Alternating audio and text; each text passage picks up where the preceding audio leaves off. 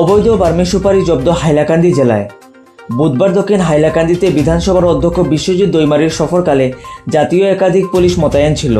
তার মধ্যেই অবৈধ বার্মি সুপারি পাচারের অপচেষ্টা চালায় অবৈধ ব্যবসায়ী।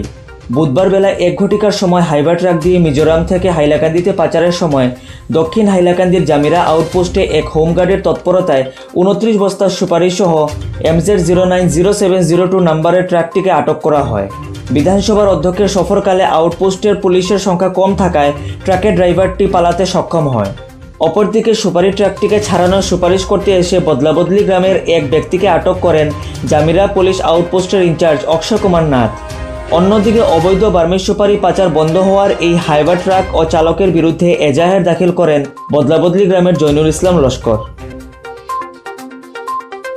মানুষ মানুষ সুপারি আগে গেছে দুজন মানুষ। এবার বাদে তারা ইয়ে আমার হয়েছে জড়িয়েছে এই এটা গরিব মানুষ তে কাজ করো তোমার পয়সা লইয়া তুমি গাড়িটা ছাড়ি দিও আমি বললাম না না পয়সা দিতে লাগিল দিতাম গাড়িটা আমি ধরছি পয়সা দিতে লাগিলে। পরে কত কত বছর উনত্রিশ বছর মার তখন তারা আমার মিজান থেকে? মিজান থেকে। তখন তারা আমার কইছে কাজ হলো টাকা পঞ্চাশ হাজার লইলাম তুমি গাড়িটা ছাড়ি। দিও মানুষ আইবার আগে তুমি গাড়িটা তখন আমি বললাম না না আমার বাবুর ওটার আমি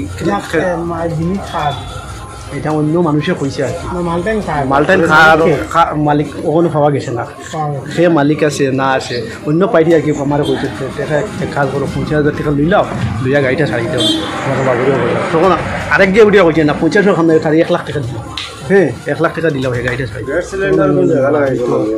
বাবুর অর্ডার না ছাড়া তো আমি গাড়ি গাড়ি রাখছি ঠিক আছে